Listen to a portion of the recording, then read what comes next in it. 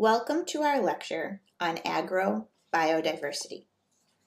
I will be honest that this is one of my favorite topics of the course, and I hope that, among other things, you feel a sense of awe for the richness and vibrancy of this awesome pe- plant people dynamic after learning more this week. As you've seen in the readings, agrobiodiversity is significant to many domains, among them culture and tradition. I've conducted research in Parque de la Papa, the subject of the Graddy reading, and I took this picture while there. This is one of the potato varieties maintained in the parque, and its name translates to potato that makes the daughter in law cry. This is because their tradition is that a woman receives this variety of potato from her mother in law upon marriage, and the daughter in law is asked is tasked with peeling this potato to serve at her first married lunch, but without compromising its form at all. You can imagine how difficult that would be with such a knobby potato. We'll start today's lecture with the family of the week and then discuss some definitions pertinent to this week's topic. Then we'll talk about the importance of agrobiodiversity, threats to agrobiodiversity, and its conservation. I mentioned when we did the tour of key families during the plant classification lecture that we would return to some of them to take a closer look as families of the week. We're doing that here with the Solanaceae, or nightshade family. Remember, the Solanaceae is characterized by five parted flowers with banana anthers and by the presence of alkaloid compounds in their leaves and stems which have effects ranging from medicinal to hallucinogenic to poisonous.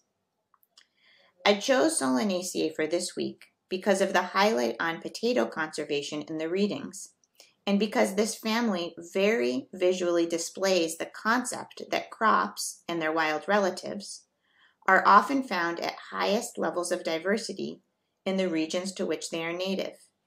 And in these regions, such crops are also deeply culturally significant. So, taking a look at some of the nightshades.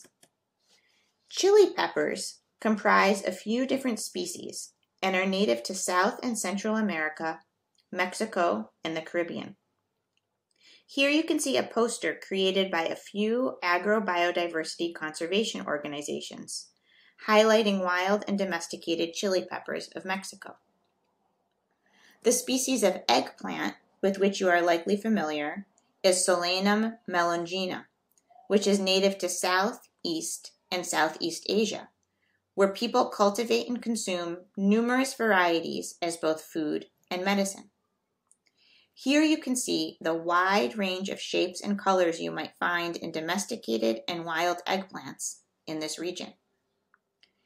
And potatoes, of course, are native to South America. We eat one species of potato, Solanum tuberosum, here in the United States. But this is not the only domesticated species consumed in the Andes. Here you can see a tiny, teeny tiny glimpse of native Andean potato diversity. Actually, thousands of varieties are grown in that region. Let's start out with a definition of agrobiodiversity. I like this definition by Zimmerer and Van Eck because of its inclusiveness of factors. They write that agrobiodiversity is the biodiversity of food producing organisms and their landscapes and ecosystems, wild counterparts in natural areas, and the realms of knowledge, skills, management, access, and related socioeconomic and cultural factors that are integral to these human environment systems. I made this last part bold to emphasize the interconnectedness and interdependence of humans and environment here. Today's lecture, lecture will center around crop diversity. However, as you'll see, this cannot be separated from any other element included in this definition. When we talk about crop diversity, this can be at different scales. One scale is interspecific diversity, or the diversity among crop species. For example, squash and corn and beans.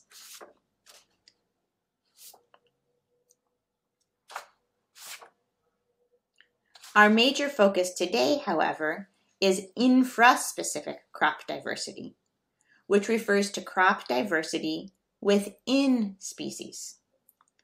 This is also called varietal diversity, with varieties each having their own agricultural and culinary characteristics, as well as their own names, history, and cultural significance.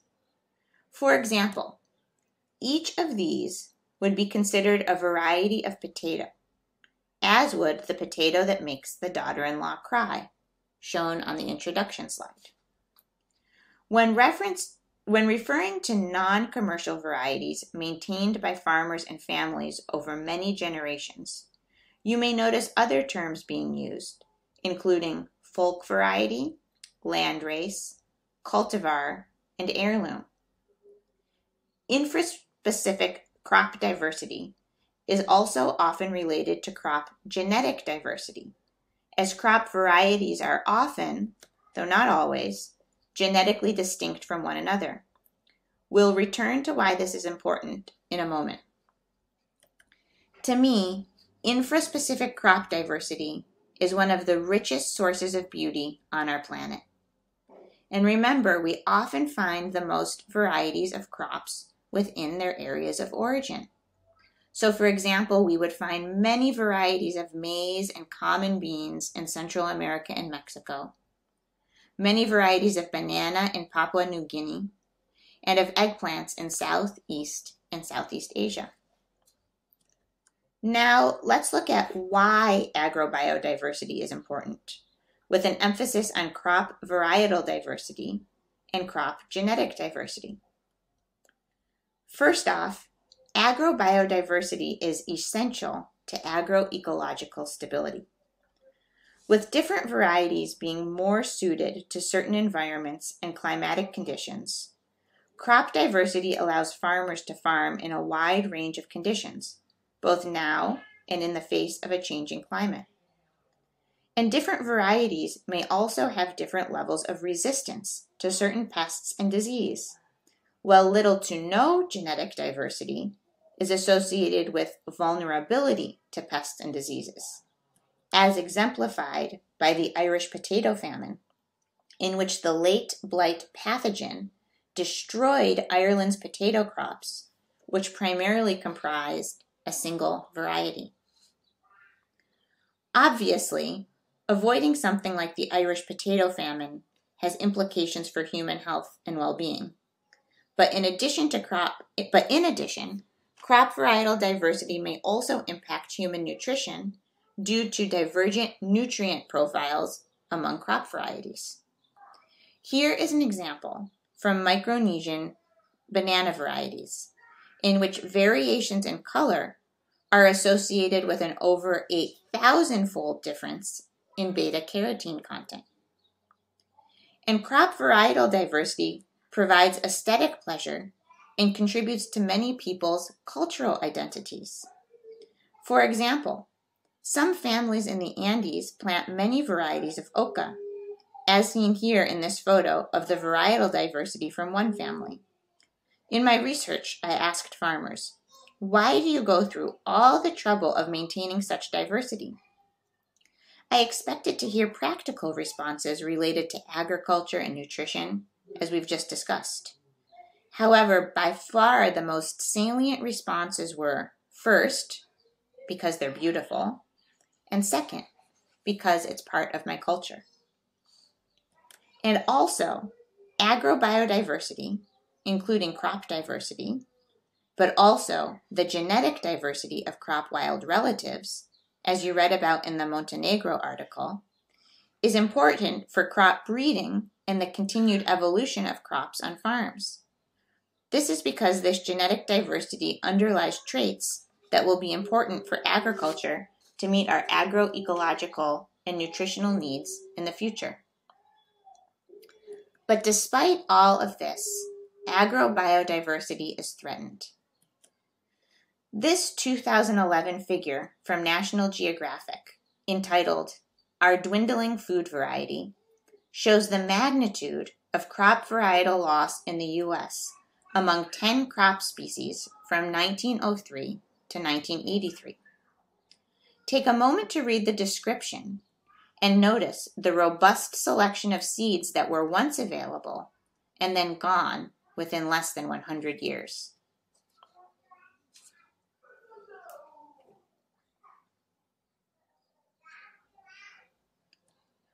While data on global trends in infraspecific crop diversity are lacking, there are many case study examples of crop variety loss on farms around the world. Here is a table from the United Nations Food and Agriculture Organization, which shows the number of countries reporting genetic erosion for different crop groups. For example, 30 countries reported loss of crop genetic diversity for cereals and grasses, and 18 countries reported loss for vegetables. What, what there are more data on are trends on, inters, on an interspecific scale. The figures I'm about to show are based on research about changes in the diversity of food supplies at national and global levels over the past 50 years. This team of researchers found that first, national food supplies have become more diverse. In other words, we can now eat lots of foods that 50 years ago we might not have had access to. But at the same time, the global food supply has become more homogeneous. This means that people around the world are eating more similar diets, composed to a large degree of a common suite of global crops, with only 30 species providing 95% of the world's calories. And although indirectly, this is related to infraspecific diversity, because for many of these global crops, only a handful of varieties are widely cultivated and commercialized. So, what are the causes of these trends? The threats to agrobiodiversity are varied, complex, and interrelated, but I'll touch on some major themes. The first is urbanization and abandonment of agriculture. Much of the richness in crop varietal diversity is maintained by smallholder farmers in rural communities. However, as more and more people are moving to cities for education and job opportunities, they are no longer practicing agriculture. And because crops depend on humans to maintain them, crop varieties are dwindling or going extinct as a result. Related to this is that the habitats of crop wild relatives are being overtaken by urban development. The second is the industrialization of agriculture. This includes the interrelated trends of growing more profitable, more profitable or commercial crops, planting commercial seeds, often produced by giant ag companies, and depending on agricultural inputs like fertilizers and pesticides rather than on traditional agricultural methods and natural resistances of crop varieties. The third includes environmental changes, particularly climate change. These are associated with new pests and diseases challenging traditional crops and crop wild relatives going extinct. And the fourth theme is social and cultural change. This includes changes in dietary preferences, stigmatization of traditional foods, and the breakdown of social and cultural structures that support, support traditional crop diversity, like seed exchange networks and rituals that require particular varieties. An example from my research that demonstrates a number of these trends is that oca farmers near Parque de la Papa expressed that the most urgent threat to oca diversity is the oca weevil, which, as you can see on this photo, destroys oca tubers. Changes in climate mean that oca weevils are now present at higher elevations, and they now attack oca earlier in the growing season than ever before. This results in tubers that are not fit for eating and not fit for planting. Because agricultural research is dominated by industrial agriculture, this pest has received little research attention, and farmers have not been able to combat it. Furthermore, because their traditional seed exchange networks have broken down over time, they're not able to replenish their seed through these networks. And all of this, combined with similar challenges in other crops, has contributed to the need to seek alternative livelihood options, often requiring farmers and their children to abandon or partially abandon agriculture.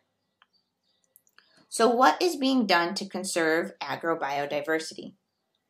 As you read this week, conservation strategies are generally grouped into in situ and ex situ methods. Let's start by looking at in situ conservation. In situ conservation is conservation on site. In the case of crops, this means on farms, or in the case of wild relatives, in their natural habitats. When conservation occurs on farms, crops are not conserved in isolation, but rather within the greater human environment traditional agricultural system. In a different podcast interview with Cary Fowler, he defines extinction of a species to be when that species no longer has the ability to evolve.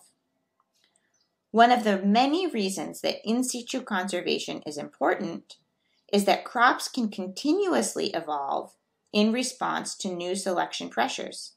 And such evolution is often nurtured by traditional farming practices.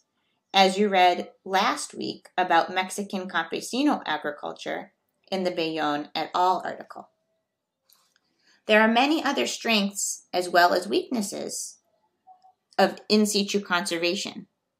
Um, and we will discuss that this week. What I will mention, however, is that one great challenge to in situ conservation is how to support farmers for providing this important service so that they're able to sustainably do so in the future. There are many ideas for how to do this, but one real world example is Peru's initiative to designate agro biodiversity zones. Pictured here is the first designated zone a community called Cuyo Cuyo that farms on traditional Andean terraces or andenes. On these andenes, the community grows 125 varieties of potato, along with dozens of varieties of other crops. When a community is designated an agrobiodiversity zone, it receives support for agrotourism, including training, and development of, of infrastructure, support for knowledge exchanges among different zones so that they can learn from one another and share seeds, and support to market their produce through brand development. These are ways that communities can generate income because of, rather than despite, their efforts to conserve agrobiodiversity. Another method, method for conserving agrobiodiversity is ex situ, or offsite. This is conservation off farms and outside of crop wild relatives' natural habitats. And its purpose is to safeguard plant genetic resources in a manner that is safe, organized, efficient, and accessible. This is often done in gene banks, so called because they preserve genetic material. This can be done by preserving seeds, hence the term seed bank, but also by preserving live plants or plant tissue, which may be necessary if the plant does not reproduce by seed. Of course, as you heard from Cary Fowler, the world's biggest seed bank is Svalbard, right here, the green bar. But there are also many other national and regional gene banks around the world, as you can see in this figure, which shows the locations of gene banks with over 10,000 accessions or samples. One challenge associated with ex situ conservation is that plant material is often isolated from other elements of its agroecosystem, including its associated knowledge and cultural significance. As you read for this week, though there are challenges, ex situ and in situ and ex situ conservation strategies can be complementary approaches to agro biodiversity conservation. I'd like to end with tangible ways that we can support agrobiodiversity. The first is to eat agrobiodiversity. When there is a market for crop diversity, farmers grow it. One place to start is at your local farmers market. Small scale farmers tend to grow a wider range of crops and crop varieties than you typically find in a supermarket and often with local, agricultural, or cultural significance. You might also explore Slow Food's Ark of Taste. Slow Food is an international organization committed to good, clean, and fair food. Their Ark of Taste is a living catalog of delicious and distinctive foods in danger of extinction. I've worked on this project and I find it to be truly celebratory and collaborative. Let's take a moment to watch a video that describes what the Ark of Taste is all about.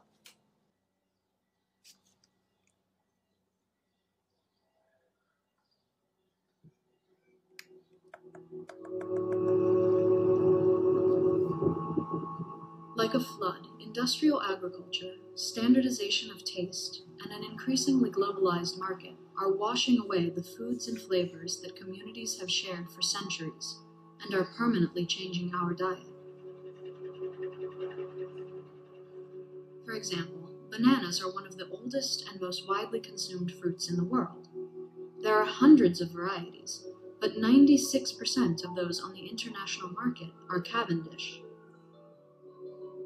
A fungus is decimating their cultivation, and according to some experts, these bananas could disappear in just 10 years.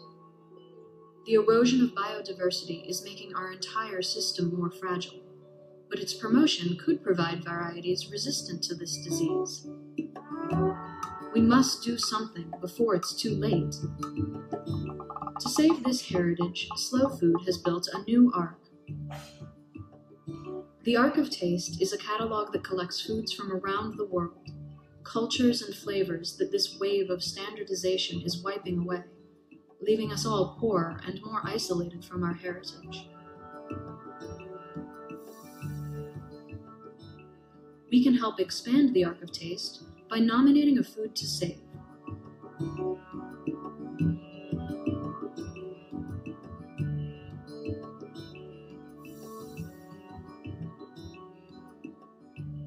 We can nominate cultivated crops and livestock breeds, like the Nubia red garlic from Sicily or the Mangalica curly pig that is disappearing in Eastern Europe.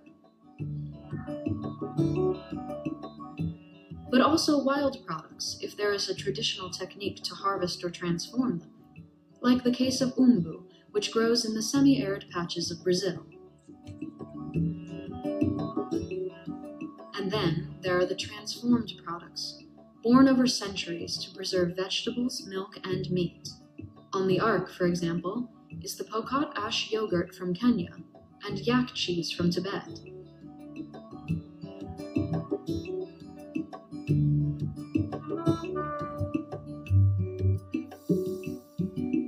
We can find products among our own memories, history, and personal experiences. Then, by looking through books about food, talking with experts, asking cooks, exploring the plants in a garden, and among the stalls of a farmer's market, even when we are traveling. But information from a book or downloaded from the internet is not enough. We have to see the products, touch them, smell them, and taste them. We describe the characteristics of the products to save, their textures, tastes, and aromas. And if we don't like the taste, before rejecting a product for this reason, we should remember that every community has its own preferences.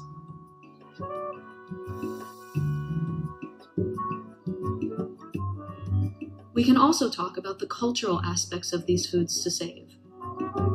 Are they cooked for special occasions? Are they found in the memories of the elderly? Do they appear in legends, in songs, or sayings of a territory?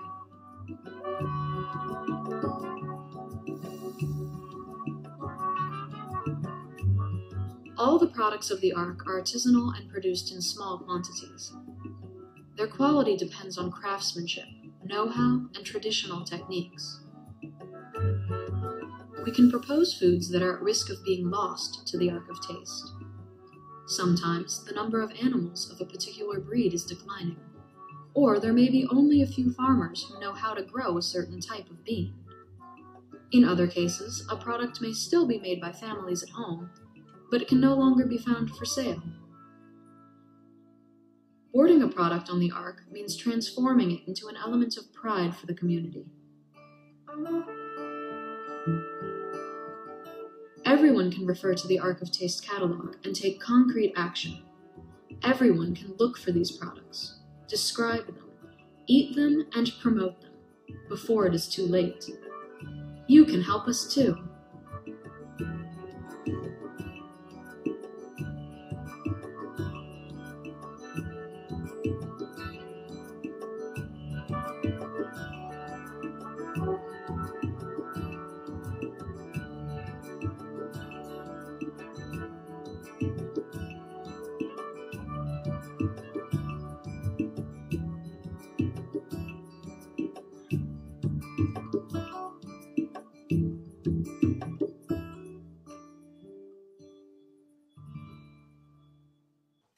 So I hope you liked that video. Um, you can check out the actual catalog on the link here and see and seek out the products listed to give them a try.